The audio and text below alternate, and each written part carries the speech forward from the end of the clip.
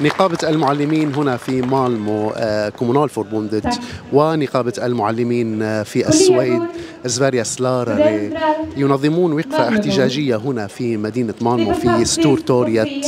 هذه الوقفة من أجل التخفيضات التي حدثت في قطاع التعليم والمدارس في مدينة مالمو وفي مقاطعة سكوني ككل.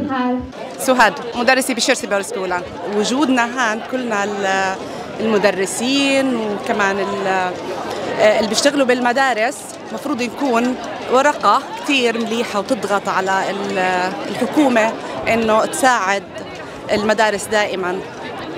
حتى يكون المدارس هي زي ما بيحكوا إنه سكولة فوق الله ضروري إنه يكون فعلا الفورتsättningar الموجودين بالمدارس تعطي هذا هذا المكان.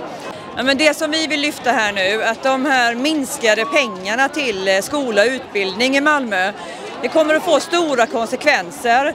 Man kommer att ta bort elevassistenter, resurspersoner, lärarna kommer få mer undervisning och fler elever.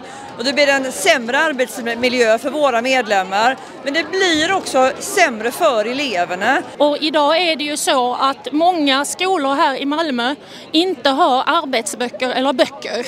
Utan eh, de får lov att kopiera upp och eh, göra eget material vilket äventyrar systematisk kvalitet på undervisningen.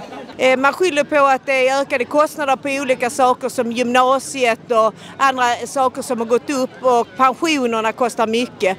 Och det ska då helt plötsligt eh, barnen betala.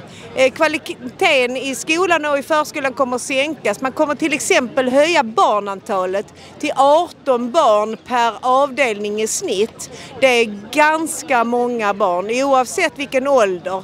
Så då kan man ju tänka sig, är man ett, två år och är bland en grupp på 18 så är det många barn. شادي فرح الكومبس مع